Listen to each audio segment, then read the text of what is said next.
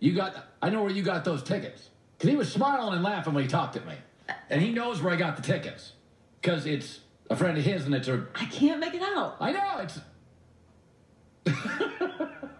John said something in my ear about Skip Bayless. No, we're not going to go there. So